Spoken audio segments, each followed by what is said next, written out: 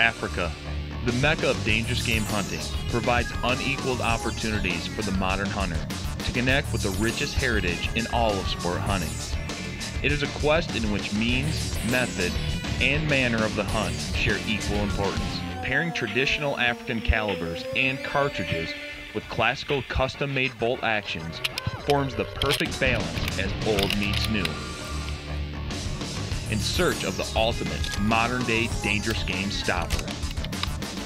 As the bolts close on the big bores and gunshots echo across the savannah, hunter and prey are each tested in the ultimate crucible of modern hunting as Africa's dangerous game gets bolted to death.